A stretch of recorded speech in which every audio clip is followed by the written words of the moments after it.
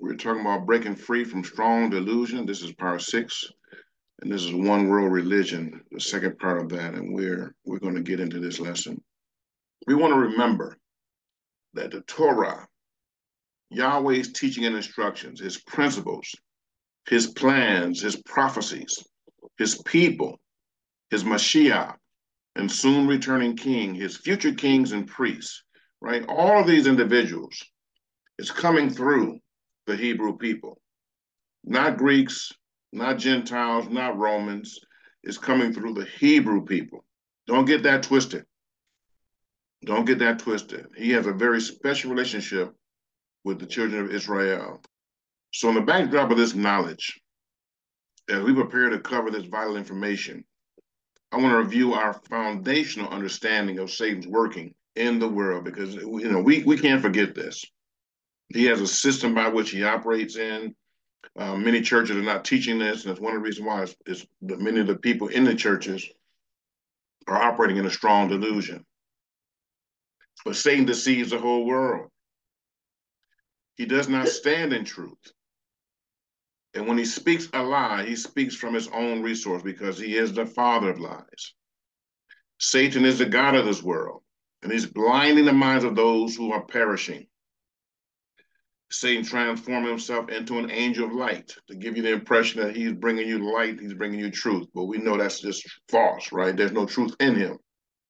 He has ministers who preach and teach about Messiah, but they're actually ministers for his deceptions. And the devil is our adversary. He walks about like a roaring lion, seeking whom he can devour. So if you're not vigilant and sound minded, he can very likely devour you. At this point here, he has ministers who preach and teach about Messiah, but they're actually ministers for his deception. We're going to focus on this today. And we're going to pull the covers off the enemy. We're going to pull the covers off these imps that's being used uh, as, as supposedly the leadership and the hi- hierarchy of the church, but they're on assignment by the devil we now know that the entire world will unite in religious worship, and the recipient of that worship will be Satan, who some call Lucifer, and his Antichrist child, the beast. The book of Revelation tells us this. And all the world wondered after the beast, and they worshiped the dragon, which gave power unto the beast. And they worshiped the beast, saying, Who is like unto the beast? Who is able to make war with him.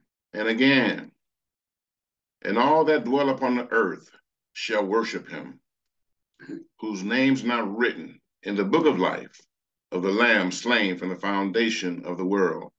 And certainly you know you're going to find yourself in that book. Now we will focus on the plan that Satan launched so many centuries ago to bring us to this moment in time where so many of the world's population are ready to receive him. And we certainly know everything started from the Tower of Babel, the mystery religion of Babylon. Nimrod, he was a king. And here's a plot twist.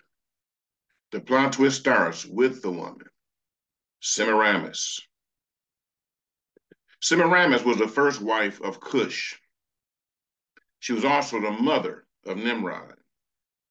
When Cush lost his power, Semiramis sought for a way to stay in power. And she came up with the unthinkable idea. She married her own son, hmm. Nimrod. When Nimrod was killed, she developed yet another plan to stay in power. She became pregnant, and then she claimed to be impregnated by the deceased Nimrod. Semiramis stated she was having a virgin birth from the spirit of Nimrod. This is the beginning of father and mother God worship. Semiramis becomes a driving force behind this polytheistic belief.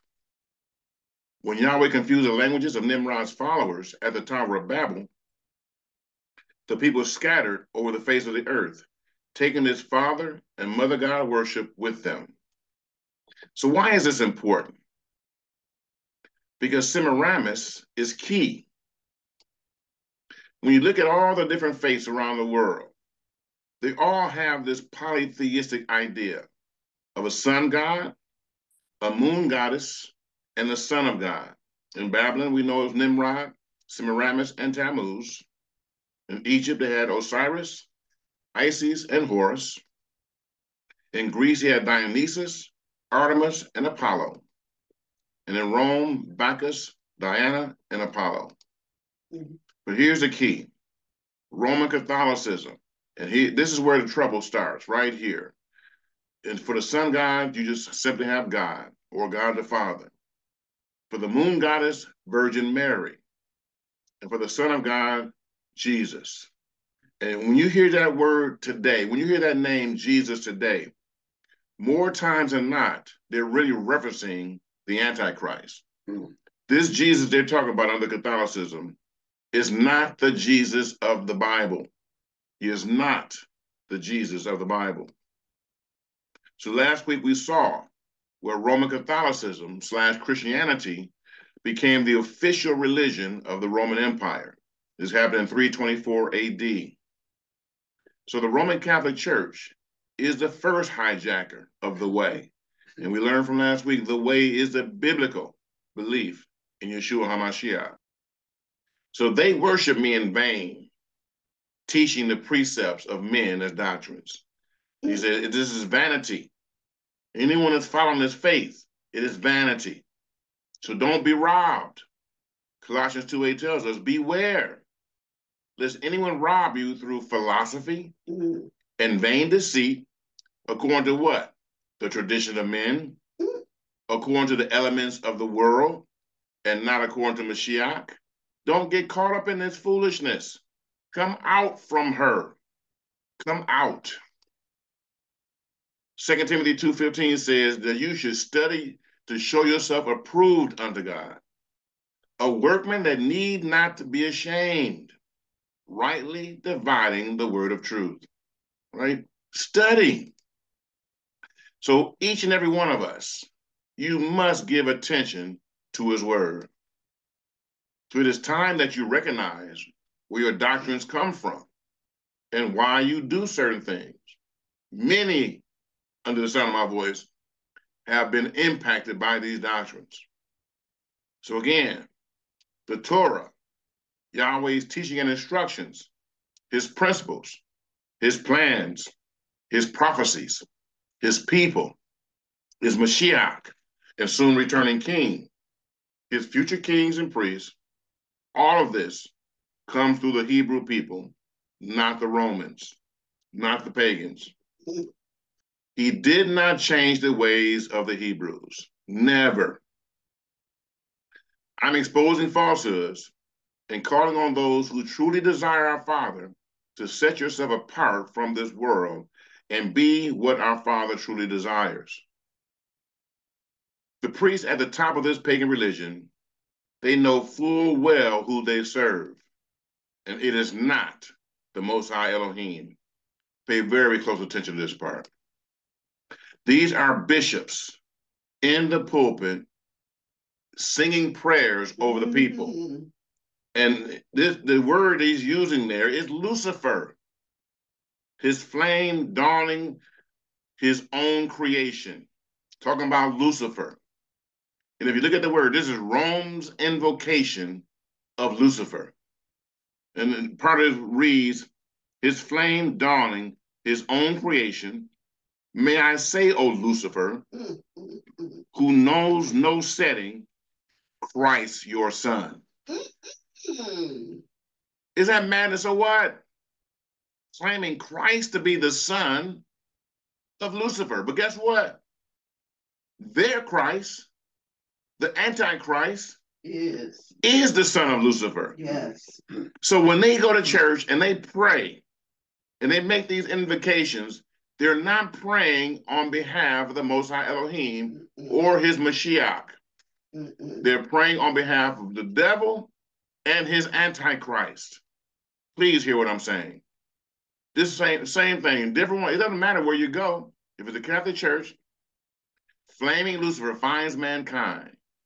Mm-hmm. I say, oh Lucifer, who will never set. Mm-hmm. I mean, they they man, this is it's absolutely ridiculous. And here's the thing: they're saying this stuff in Latin. The people are being prayed over and sang sung over in the name of Lucifer, and they don't even know it. Wow. They don't even know it. Yes. Catholic priests actually pray to Lucifer and they revere him. Oh yeah. Oh yeah. I, I feel you, bro. That's some off stuff, right? That's some off stuff. So we're talking about the rise of the one world religion. The rise of the one world religion. The one world religion is where the whole world worships Satan. the one world religion, this whole concept, right? You got a world a, alliance of religions. You got this interfaith council. Look at the emblem of, for the interfaith council. You got Buddhists. You got the, the present day Jewish people. You got Muslims, Hare Krishners. You got all these different faiths falling under the umbrella, including Christianity, you know, mainstream Christianity, this interfaith council. You got the World Council of Religious Leaders. And Pope Francis, you know, he's he's leading all of this into one world religion. So the devil's using the Pope and his satanic agenda to rally the world's population into his deception to follow Satan into his new world order. Modern day Jews, Christians and Muslims are participating in this. Now, here's here's something you need to understand. When the Most High called the Hebrew people, he told them, don't do as the nations do. The Hebrews were called to be a separated people, to be an example of the goodness of the Most High Elohim. But he said, don't do as they do, don't worship as they worship. He made that very clear. So the point I'm making, if these present day Jews were legit, there's no way you can get them into fellowship with heathens. They wouldn't do it. They wouldn't do it. So the, the mere fact that they're coming together under one umbrella, under this interfaith umbrella, is proof that they are not in the scriptures. They're not the people of the book. It's just a sidebar there, but you need to understand that.